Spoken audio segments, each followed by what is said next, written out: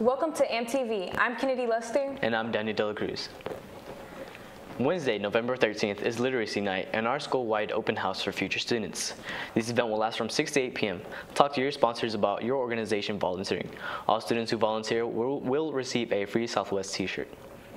Congratulations to Samantha Neal for being chosen as the ninth grade student of the month of November 2019. Samantha's teachers state that she is an exemplar student who works hard and always helps her peers. She has high personal expectations and succeeds both in her class and her extracurricular involvements. Samantha is involved in Southwest High School in the award-winning band Drumline.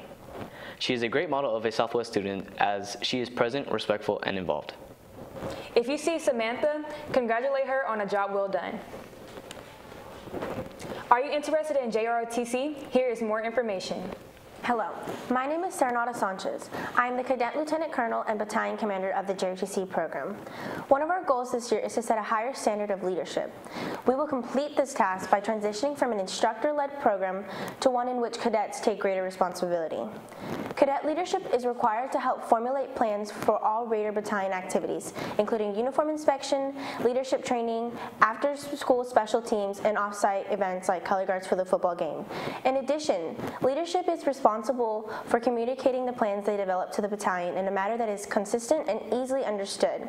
Lastly, we are placing an increased emphasis on academic excellence and individual commitment. If you have any questions about JHC, feel free to come by during lunch, before and or after school. Thank you.